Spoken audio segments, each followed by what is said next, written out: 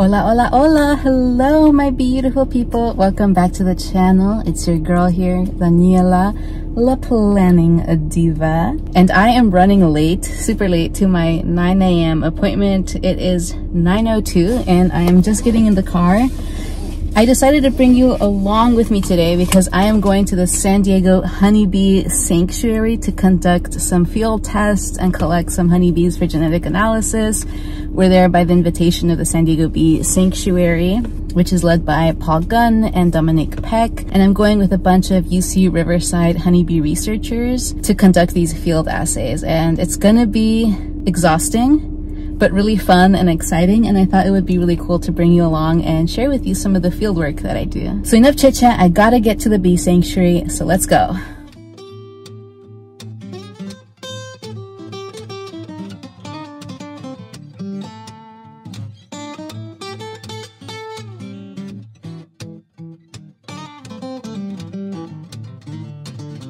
Okay, we have arrived at the San Diego Bee Sanctuary. Bees hives over there, research team up here assembled. I'm gonna put my hood on because these bees like to sting my hair, so gotta put my hood on.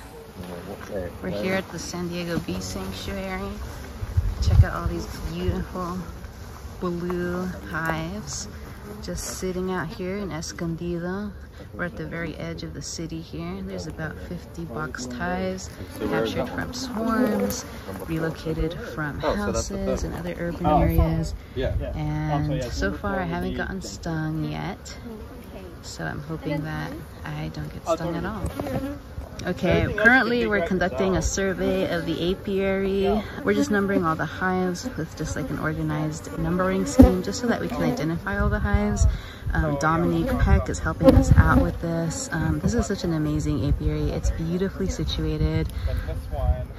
It's so gorgeous out. You can see all the rolling hills of Escondido Valley and uh, we're enjoying the calm before the storm that is opening up these honeybee hives. It's gonna be intense and hope hoping I won't get stung.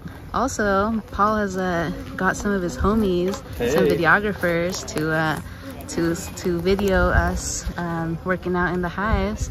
But this is Paul Gunn, um, head of San Diego Bee Sanctuary. Hey, Paul. Hey. How's it going? Good. How are you?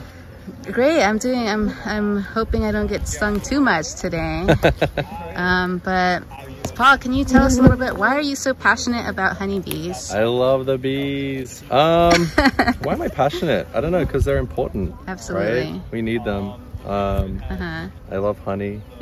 we all do. Absolutely. And uh, I don't know. Something about beekeeping as well. It uh -huh. takes away all the other distractions, and mm. I just focus on the bees and it's really peaceful. Mm -hmm. Absolutely. And it's beautiful out here too. Oh, so. It's gorgeous. Yeah, it's beekeeping is very therapeutic. Absolutely. All right, thanks, Paul. Yeah. Okay, so the team is starting to sample one hive here. We're going to be sampling every single hive. We're going to be sampling three individual honeybee workers and two honeybee drones. Those are the males. This is going to be for a later genetic analysis. And so um, we're doing one hive as an example for everyone, and then we're going to split up into teams of um, three and four, and then we're going to sample every single hive in this apiary, which is going to be a lot. Sakshi and Mark are checking out this hive over here. Like the three? Hive on flag, we'll get the We'll get there, yeah. Okay, I need you for Varroa count. Okay. Yeah. They're checking Varroa I mean, the frames are broken, but I still want to make sure colony. that we don't catch queen. hot colony. They're really mobbing her wheel. So intense. Let me get back to my team over here. Hey, I'm here with Genesis Chong, PhD candidate at the University of California, Riverside.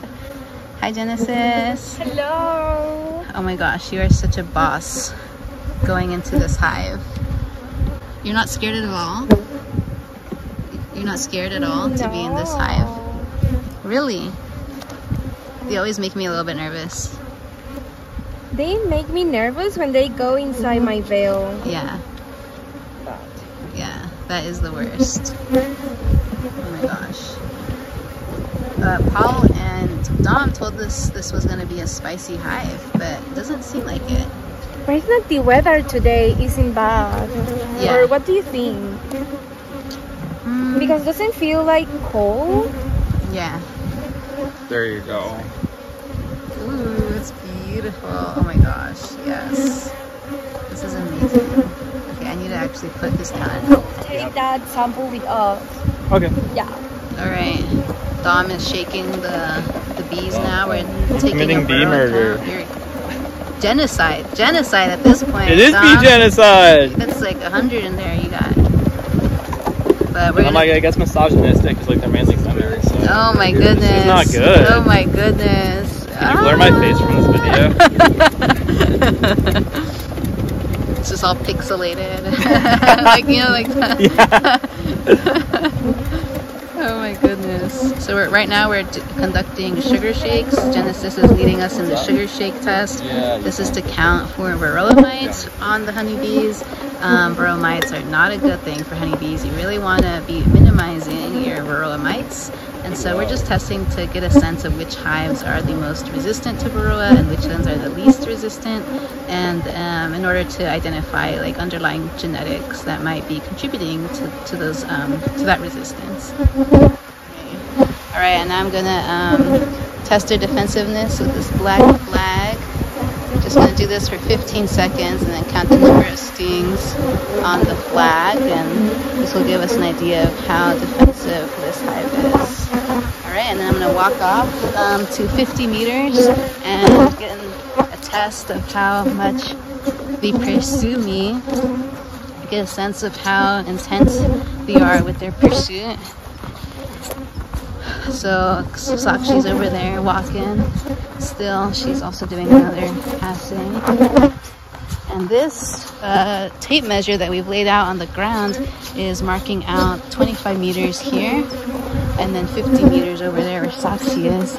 And at each 25 meter and 50 meter mark, we're going to estimate how intense is the pursuit on a subjective scale of 1 to 5, with 5 being the most intense pursuit. I would say it's about a, a 3 and a, uh, and a, uh, yeah, I would say, I, I would say this is a 3 level pursuit. Okay, now I've reached the 50 meter mark and um, Sakshi's already walking back up. Okay. Whew, this is has been an intense day. Um, you can see my steampunk goggles on my head. These actually help me not only as sunglasses, but also protecting my eye sockets. Because sometimes bees will get into my veil through a random hole that I didn't catch, and then they'll sting me. I remember um, a few years back, I had a bee get into my suit, and it crawled up my nose. And there's nothing like having a honeybee crawling in your nostril, let me tell you. I've definitely gotten stung in the face quite a bit. Bees will find a way through your suit if you let them. So I definitely am strapped down right now. So now I have this little black patch. I'm gonna count the stings here. There were three stings on this patch. Not too hot of a hive, I would say. I've seen hives give me like 50 stings on this thing. All right, let's get back to work. They are. They are going for it right now. Now this is a nice hot hive. Well, a little So bit. this I'm pretty sure is from that one. See, But there's also, varroas you right know, here. Look, right here. So this is a good one. Yeah, yeah. You see, Yeah, yeah, see 'em very in there. So. on the dryness. Oh, Where? sorry. I'm totally like Oh yeah. See, putting there's smoke already. in people's eyes. I'm used to it. Sorry, sorry. Smuggle day. Ah.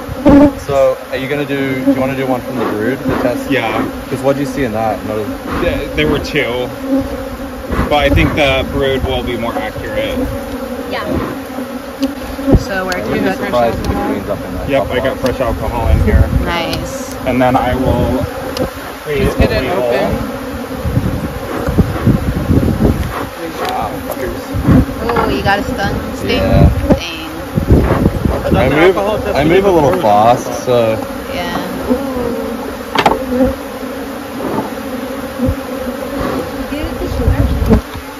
We did that because I am in charge of smoking the bees right No, I thought we now. already alcohol. many Yeah. on here.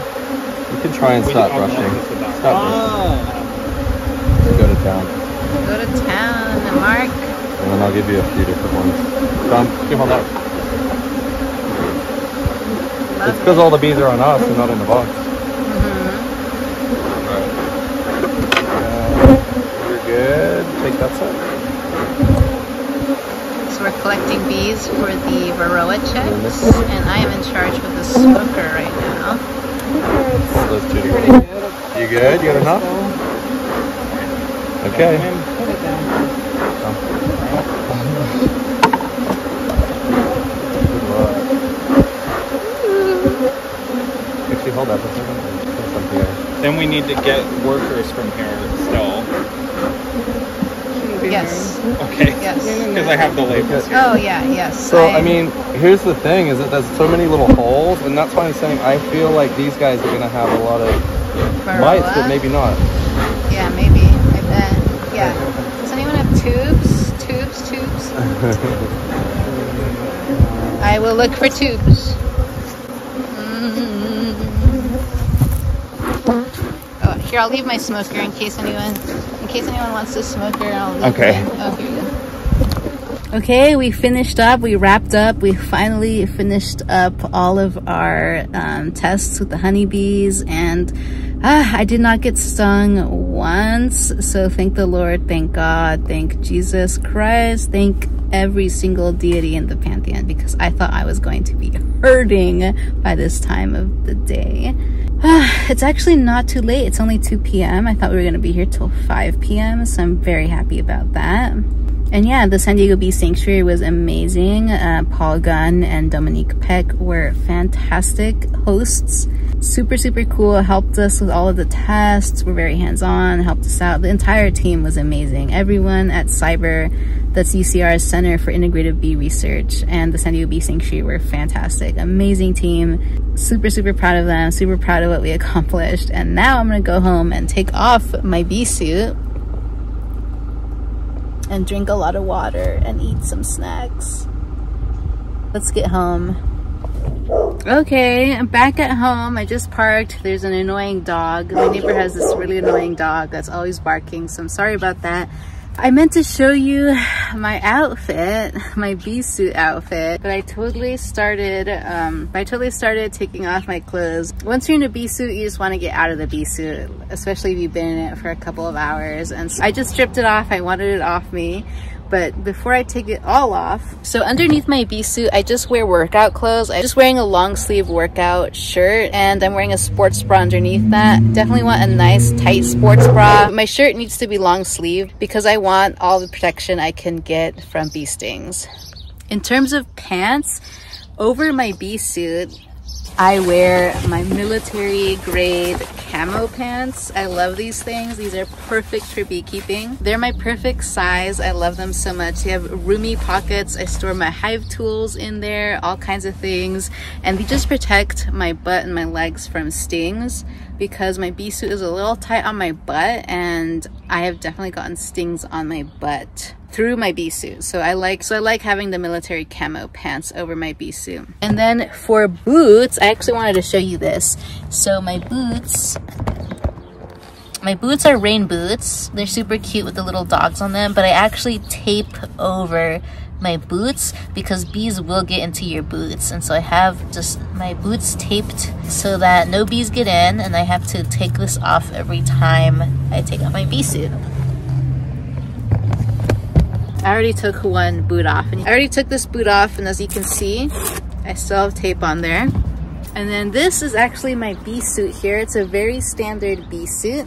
And it's actually like a child size bee suit because I am tiny. I'm barely five foot. It's actually a little bit tighter than what I want it to be. This is actually a little bit too tight for me, but I'd rather have a tight bee suit than a super baggy one, especially since I use um, the camo pants over my bee suit and that protects against stings. And then to keep my hair back, I actually just use this cute little do-rag. I don't even know where I got it from, but it, it is key. It is essential.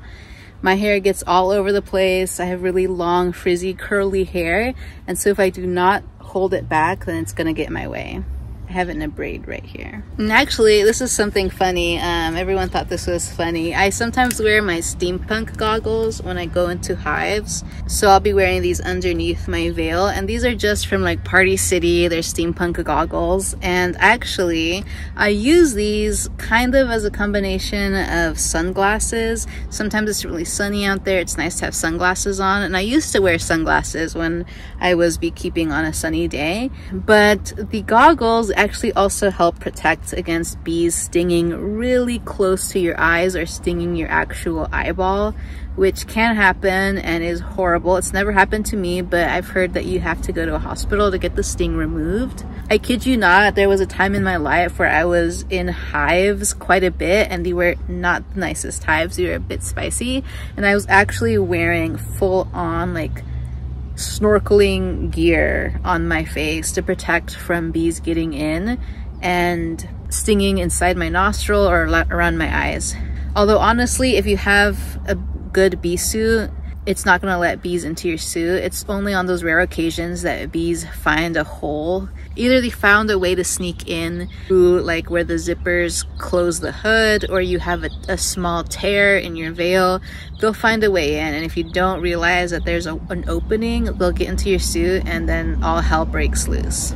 So you shouldn't need to have protective gear underneath your veil. Your veil should keep them out, but it's just when bees get into your veil, it's the absolute worst.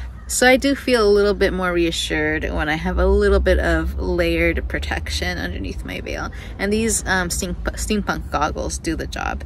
I don't use my uh, snorkeling goggles anymore because actually those were a little bit too annoying to use. I didn't feel like the payoff was worth it. Like the snorkeling goggles were too intense to use. They were just really tight and it got really hot in them. And honestly, half the time I just didn't need them. No bees are gonna get into my suit. So we're home and I'm gonna get inside and get some lunch. I'm just here with bugs now, just hanging out, just taking a minute to decompress. I always feel absolutely wired when I'm working with honeybee hives and it takes a it takes a little bit to kind of decompress, de-stress. I'm so happy and blessed that I did not get stung. I'm just here with my baby bugs. Daisy's over there in the corner, messing around. But I think this is it for the blog. Not much else going on today. I think I might try to do some work. I might film a video. I might film another plan with me. We'll see. I might try to do some stretching I might do some meal prep. We'll see, we'll see. But honestly, nothing too exciting. So I think I'll just um, finish up the vlog. I hope you enjoyed that whirlwind tour through the San Diego Bee Sanctuary with the team. I hope you enjoyed that. It was a lot of fun in retrospect. No, no, no, it was fun while we were there as well, but it's always so intense. Oh, there's Daisy. Hey, baby.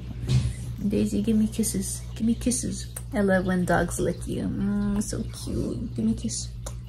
Yeah, good girl. Anyways, I'm just gonna hang out with my pugs for the rest of the day, maybe do some work, some chores, and then maybe maybe film a video or two. We'll see. But I'm so happy I did not get stung today.